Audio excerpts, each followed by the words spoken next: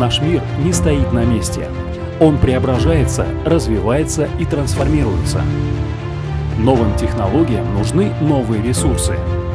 По прогнозам Международного энергетического агентства, к 2030 году потребление электроэнергии в мире вырастет на 18%.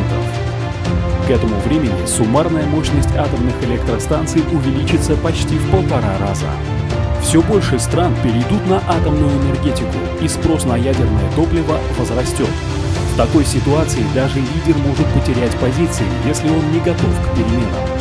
Программа трансформации ставит перед Казатомпромом цель достичь максимальной долгосрочной акционерной стоимости, рентабельности и финансовой устойчивости. На этом пути Казатомпром должен стать современной компанией, соответствующей мировым стандартам ведения бизнеса. Важную роль в трансформации играют цифровизация и автоматизация.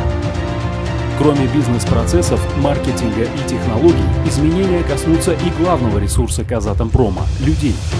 Еще одна цель трансформации – следование корпоративным ценностям компании.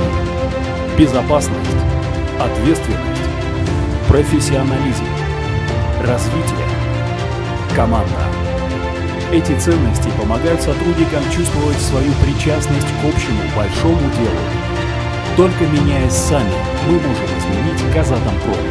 От каждого из нас зависит, каким будет будущее компании и всей энергетической отрасли Казахстана. Казатомпром.